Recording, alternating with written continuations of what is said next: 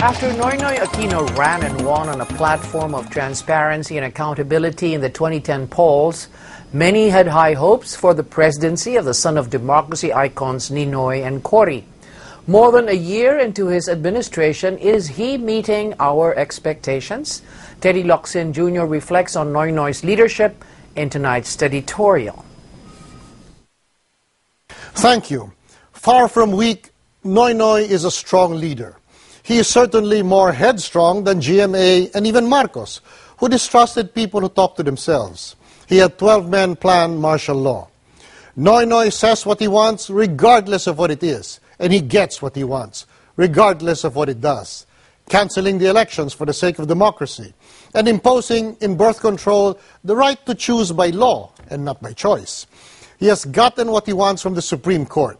He imposed what all presidents had the authority but no other president had the heart to do. VAT the toll that working people pay to commute, while throwing money at the unemployed. He is not afraid to be hard on the poor. He is also hard on the rich, but just those of the previous administration.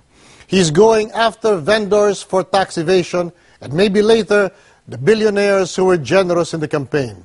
He breaks contracts and taxes profits that were exempt. I like that. I exposed the, the anomaly of the Code NGO.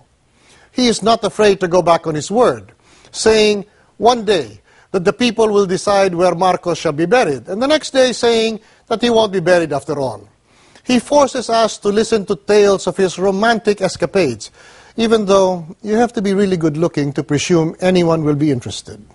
He has got a newspaper columnist to call his speeches the greatest ever written and the most eloquent ever delivered, regardless of merit.